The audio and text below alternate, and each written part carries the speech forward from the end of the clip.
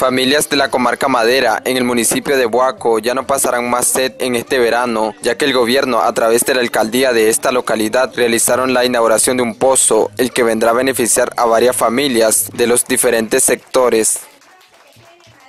Haciéndole la reactivación del pozo público, donde va a abastecer no solamente la, comunidad de las Maderas, sino que también a Tierra Azul, las agüitas, todos van a hacer uso de este pozo público. Sabemos la escasez de agua que hay en todo el país. Mal se mantenía todos los días malo, todos los días secado. Ahora pues esperamos adelante mucho más. Como pobladores van a dar el cuidado necesario eh, necesariamente creo que sí, creo yo que debemos de organizarnos y darle mantenimiento adecuadamente.